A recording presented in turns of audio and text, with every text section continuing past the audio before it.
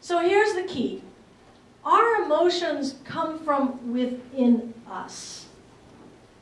Right? They come from within us. They come from our, our, bi our biology, our biochemistry. They come from our values and our, and our, and our belief systems. Uh, they come from our life experiences. They come from our childhood, uh, past programming. They're coming from within us. Now, the beauty of that is because they're coming from within us, we can have more control over them. That's the good news. The bad news is there may be times when we don't want to own them. we just as soon not take responsibility for our emotions, right? But knowing that we have them and we know where those triggers are allows us then to monitor them and manage them.